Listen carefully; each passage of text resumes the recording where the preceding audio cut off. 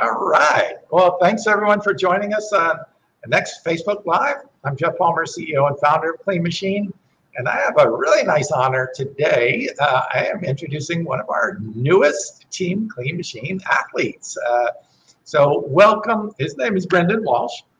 And uh, I want to welcome him to the team. But he's got a, an amazing story that I think is very empowering. And I hope a lot of you uh, learn from his experience too, because it strikes a big chord with me. Having gone through many struggles myself, uh, dealing with depression as a younger age, um, becoming a plant-based person, and then and as an athlete too. Brendan and I share a lot of the similar paths, and um, our passion for helping others, for giving back to charities, which you'll talk about too as well, lot of synchronicity here. So I'm, I'm really excited to bring someone who now I consider a good friend as well as a teammate, Brendan, known as Bicycle Brendan, because he does some amazing bicycle work, including owning a Guinness World Book of Records. Welcome, Brendan. Thanks for having me, Geoff. I'm uh, stoked to be a part of the team. You know, it's great to be cut from uh, such a, a, a, fine cloth here um, with all uh, you know, you practice what you preach. so let's let's just jump right into this. Uh, you've got an amazing story. Um, so talk, tell me how it all kind of started out for you. Um, I know you come from a little bit of a similar background um, in um, in dealing with uh, some issues, and then moving into a plant based. So t- just talk about how that unfolded for you. Yeah, so I guess I would have to take the story back to 2014. Um, I was kind of living through a bunch of really bad habits. Um, you know, a day uh, day after day of um, partying a little too hard, I guess you could say. Um, tons of nefarious activities, all kind of culminated to um, the act of a terrible motorcycle crash that I got into. Mm. I got sent flying over the handlebars, going over 20 miles per hour. I wow. was sent skidding on um, black tar, scraped up the whole side of my face. Uh, I tore my rotator cuff. And actually, you know, there's two ways you can get appendicitis. Uh, one is from an infection from within, and the other is from impact. And I hit the ground so hard, I got appendicitis. Wow. Um, you know, and I'm a big believer in it's not the things that happen to us, but our reactions to them. Totally you know so after that um, i was held up for several months you know i was i was still in college i actually ended up failing a couple classes because of this the mm-hmm. teachers and i mean like at that point the teachers didn't believe me you know especially one of them didn't believe me uh, and within wow. kind of good reason you know uh, so a- after that i was stuck in a chair for like a month uh, I watched. I ended up, you know, watching the World Cup, the entire World Cup. That was cool. But other than that, you know, I found my old mountain bike in my parents' mm-hmm. house. And then it was a, a, slow progression of like, oh, like I should ride my bike here. I haven't been there in years, you know, because I moved away. Mm-hmm. And then, you know, five miles turned 10 miles, turned 40 miles. And then I got my first road bike. And my first real adventure was riding from Boston, where I was living at the time, all the way to where I grew up in central Massachusetts uh, to surprise my mother for her birthday. Wow. Um, and then ever since then, you know, that was I didn't have a smartphone. I wrote I wrote all the directions down on a piece of paper with a pen uh, that I carried in a plastic bag plastic bag with me. Wow. Um, yes, and that ever since then it was uh like how far can I ride? How can I get here? You know, um, I sold my car, and ever since then I've I've been riding my bike everywhere I go. What an amazing story! What a comeback! I mean, for a lot of people, uh, it was a motorcycle, but you know, getting back on the road and overcoming that fear of getting hit, that must have been uh, tough psychologically for you to overcome as well. Yeah, yeah for sure. Um, you know, uh, the physical ailments last a certain amount of time, um, and they're very, you know, there's most of them are surface level. You know, mm-hmm. you you feel these things, you see these things, but you also watch them heal. But what you don't ever really do is kind of like turn the mirror on yourself mm-hmm. and kind of, kind of look in and see what's what's going in, um, you know, with your your mental health. And I didn't realize how much I was struggling with that um, mm-hmm. until I started putting in all of the hours of work into myself, you know, all the long nights of riding my bike through the night. Um, you have a lot of time of self reflection. And that's great. And that it's, it's kind of like an act. I feel like it's an active meditation. Yeah. You know? It puts you in that zone with your conversation with yourself and you begin to reflect and look at all the things you do. And, and when at what point did you actually start reflecting on your diet and your health in in that aspect and then how did that affect your your performance yeah so in the spring to summer of 2017 i went on my first bike adventure um, i never did an overnight before uh, i mm-hmm. just loaded up my bike with way too much stuff and started riding west uh, you know i slowly mailed stuff home along the way but the culmination of of the diet point was I was staying with this family out in Eastern Washington on this farm. It was, you know, they were living um, they were living up in the mountains, Eastern Washington. It's a it's like a high desert out there. Nice. And they're a very well-known farm family to the point of a neighbor comes by and he brought um, a baby deer to them because I don't know I don't know if you know when a mother will will leave their deer, uh, their baby, um, you know, underneath a bush, underneath a tree, somewhere safe while they can go and get food. But what yeah. often happens is they'll get hit by a car. You know, a hunter will shoot them. You know, a myriad of things that can happen. And basically, this deer was completely emaciated. So it was been there for several days. They brought this deer into this family where I was staying. I was literally just about to leave. Like I said goodbye. Mm-hmm. And uh, something said, you should stick around. And wow. I went back inside and we ended up I was bottle feeding this deer. I was feeding a deer w- with a baby bottle wrapped up in a warming blanket on the open door of an oven. And, you know, you see, when you see a deer, it's such a fleeting moment. You know, they're often mm-hmm. terrified of us, you know, in any capacity. You see it, you lock eyes, and it's gone. But, you know, I sat with this wild animal, you know, stroking its head, comforting it, and feeding it, nursing it back to health um, and I just I just had this connection. I saw I, I saw in its eyes, and it like latched onto me. You know, I, I I know I knew this deer for like ten minutes at this point, and it just latched onto me. And ever since that moment, um, you know, it's it, it's like when you um you look. I've always heard the expression, "The eyes are the window to the soul." You know, and it and it truly was that moment. I had this soul connection with this deer. Um, you know, I got home and it just was this lingering thought in my head, you know, like, what am I doing? It was a constant, you know, Rolodex of thoughts. It was like, this leads to this, this leads to this, you know, it's not, it's all connected. So a- after that, um, only like a couple months later after I got home, it was like this, I went from a weaning process, just to, I went full vegan. Um, and then from there on out, it was like, wow, I can really go like all day now. You know, I started the next year, the next year, legitimately like six months later, I did my first marathon. Um, I taught myself how to distance swim. I did my first half Ironman and I did my first double century ride. Wow. And that's a that wasn't even in a full year of being vegan, Geoff. You know, wow. it was like instant and, that, and, that's the incredible healing of plants. And and obviously the when we can clean up our diet when we can supercharge our cells with these plant nutrients phytonutrients antioxidants polyphenols all these amazing phytochemicals that are in plants even the fiber feeding our microbiome so that we actually can uptake and increase nutrition altogether.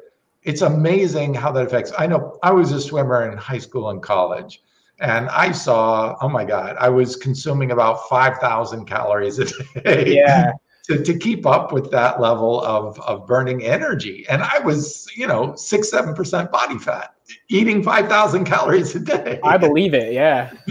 because of the training. But it, it made me really realize what a significant connection there is between what we're eating and how our body actually responds to that food and what we put in it and it just makes sense but sometimes it takes you know experiences like that to make you see it in a totally different way yeah. and when you do it's it's it's i'm sure you felt the same thing it's hard to unsee it's hard to unlearn and um yeah so you know you've you've done amazing things. So after this motorcycle accident, like we alluded to later, you set off on an epic journey, one that would put you in the record books. Yeah. Tell us about that experience. What got you started on that, and what was the experience like?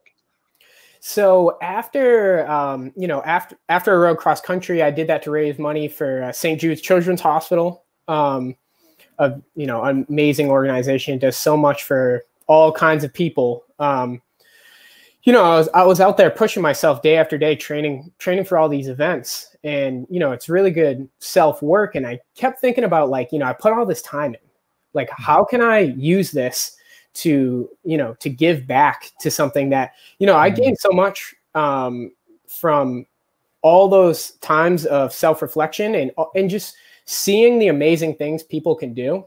You know, I wanted to give back to that community, and I wanted to be able to specifically focus on an organization that was working towards a similar goal as I was. So, sometime late in the same year, um, I came up with the idea to ride down the coast. Um, and I would say maybe maybe fall 2018 like kind of you know an inkling you know how it happens like you get like one one little thing comes up and it, it plants this seed and it grows yeah. and you know, I started training hard for that. I started lifting a bunch of heavy weights uh, in the off season, putting a lot of time in the pool because I was nursing an injury. Um, and in May of 2019, I was about a month out from the original leave date of the record. Uh, it was May 7th. I was on a typical training ride, uh, ride to Walden Pond every morning. Uh, I got hit by a car. I was bombing down a hill. I was going about 25 miles per hour, and the guy was doing the exact same thing. We collided. I smashed. Uh, I don't even know what I smashed through, to be honest. I just remember hitting his car, hitting the sound, hearing the sound of shattered glass.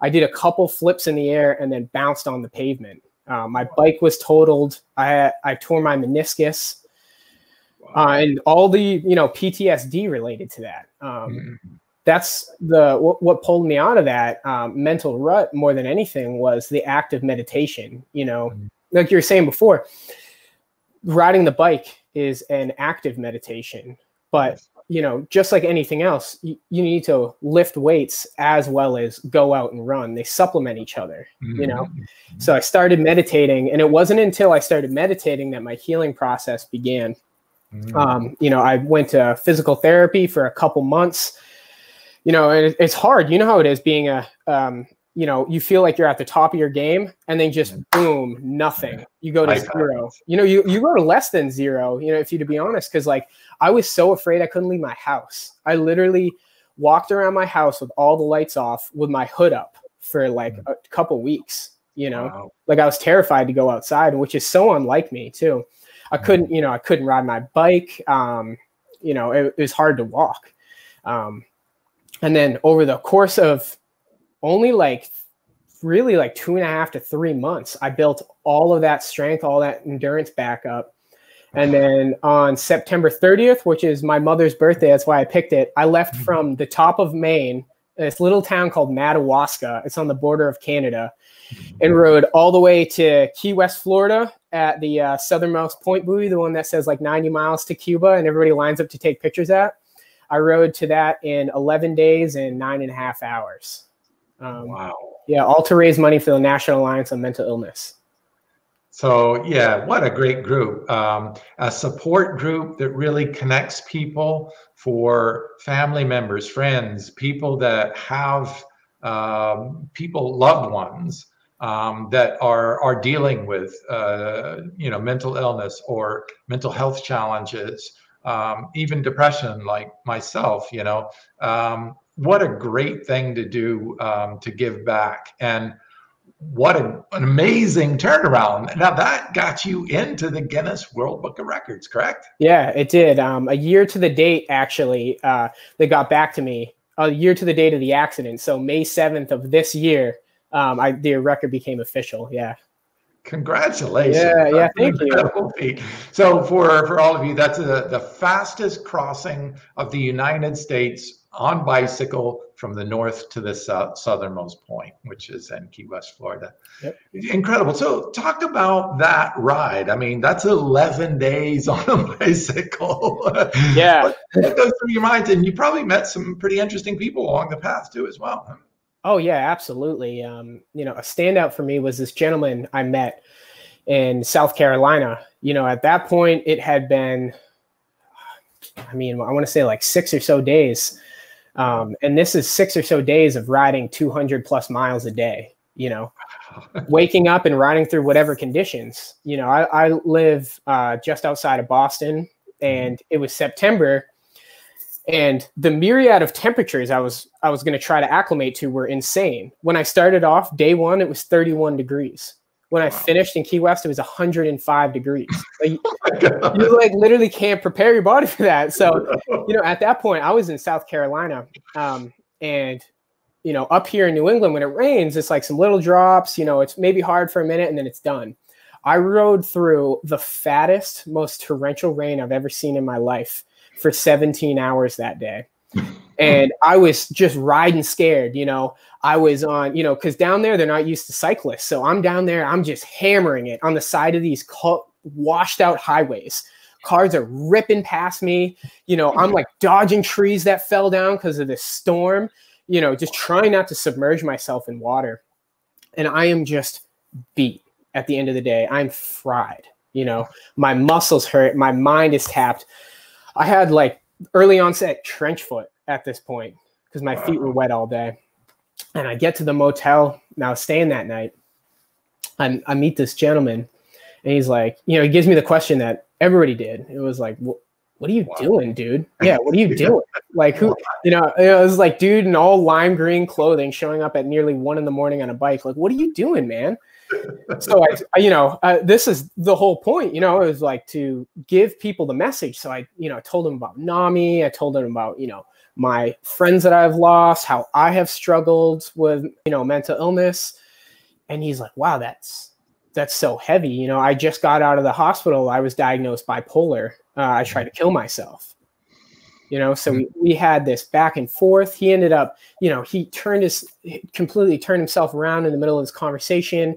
He's all excited. He's like i'm going to start working out tomorrow blah blah blah. You know he's so excited just just about the concept of life again you know yeah. just think about the essence of that just about to be alive again. And uh you know right before that like i was like man you know i'm like trying to reason with myself. I was like i hope someone steals my bike then i won't have to finish this you know yeah, right. and, then I, and then i meet this guy and he completely turns me around it was like mm. my legs were just fresh you know um, i was having a bunch of stomach issues from all of the like gas station food i was eating and it was like that's a small problem now you know when you when you remember what you're doing it all for right. and, and meeting him that was you know it, it's hard to say that wasn't supposed to happen you know right. because we were both at these low like some of the lowest points Mm-hmm. And uh, you know, we just we are there for each other. Two two complete strangers in the middle of the night in South Carolina. You know, you couldn't make it up. And and uh, to relate, I, I, remember pushing myself uh, uh, when you're dieting for to get in stage competition shape. It's it's tough because you're training harder than you ever have. You're depleting yourself of serotonin because you're uh, robbing yourself of carbohydrates that would normally produce that. So you know you're going through mood shifts. You're going through hunger pains. You're going through stress and and and all of that and your body's just screaming to change you know and it, it is difficult but you know when i get in the gym and i'm like just why am i doing this and wanting to quit and then i think about the animals and i think wow there's a trillion animals going to die this year mm-hmm.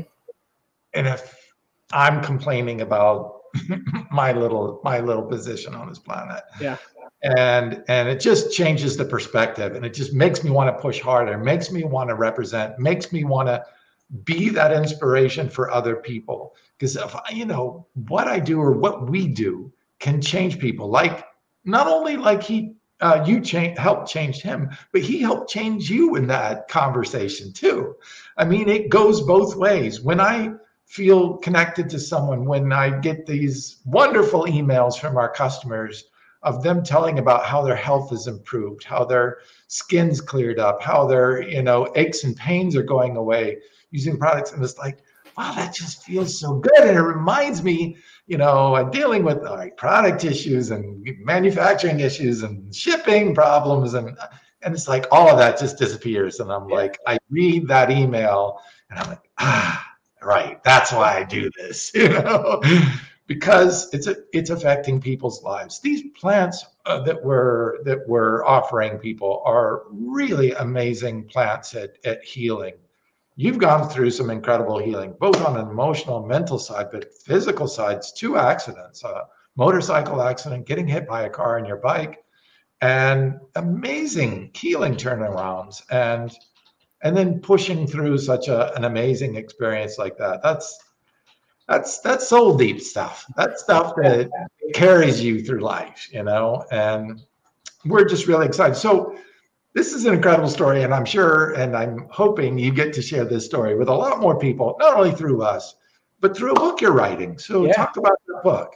Yeah, absolutely. Uh, so the book is, you know, a culmination of the story of coming to the ride, uh, the ride itself, and kind of all of the philosophical lessons I learned along the way. You know, like you're saying, I had so many people after I got hit. That was the second car I got hit by that year, by the way. In February, I got hit by a different car and I got a concussion so bad I was out of work for two weeks. So I got hit by another car a couple months later. And everybody was like, oh man, I, I totally get it. You know, you know, hang up your hat. You you tried your best. And I'm like, no, this is fuel for the fire. you know, you know, this is that pure organic plant-based food for the fire. You know, like this is burning hotter than ever. Uh, so the book the book tells uh, that story, um, and you know, it culminates in in the end, um, getting to that buoy all the way in Key West. Yeah. Buoy booyah. Yeah, yeah, yeah, yeah. Book of records. Well, this this is this is amazing. I'm sure I'll have you back on. We'll talk about lots more stuff too. Um, uh, um, what I, I know you can't give the total details, but you want to give us a little hint on what your next adventure is. And yeah, so as most people know me as Bicycle Brendan, um, you know, I do I do a little bit of everything. I, I love it all. You know, I uh, I swim, uh, indoor, outdoor. I, I've you know always lifted weights, but this time uh, it's going to be a long distance run challenge. Um, it's going to be something that um, little thinking outside the box. You know, uh, one of my goal is with this um, first of its kind run is to raise the remaining money for NAMI. So with the bike ride, we raised just under six thousand five hundred dollars. So the goal is to raise the remaining three thousand five hundred dollars for NAMI with the run. Um, so you know that that's the purpose of it. It's I I read a lot about the the science of philosophy of, of, of athletics, and one thing is talking about intrinsic and extrinsic motivation. You know, and it's mm-hmm. like it's more than just one thing to do a big race. You know, you have to have some sort of reason behind it once it gets so tough. You know, mm-hmm. so that that's the reason behind it all there's there's nothing like the experience of living a person purposeful life yeah. for sure.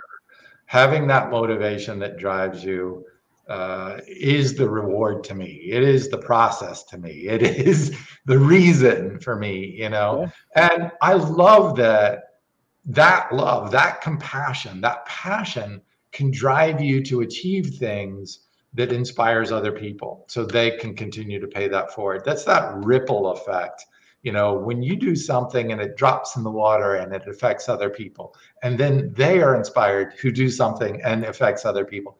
And that chain of events that's the beauty of when human beings focus on something that they really love that they really care about and they can pay it forward that those effects can triple out and just continue to multiply. Yeah um, so uh, thank you, uh, Christine um, and Jackie, for joining us here. Uh, thank you for your comments. Uh, thumbs up for that. Uh, one said, Jackie said, love you. So definitely feeling the love here. Absolutely. And, uh, and um, so, yeah, your next adventure, so people can follow you.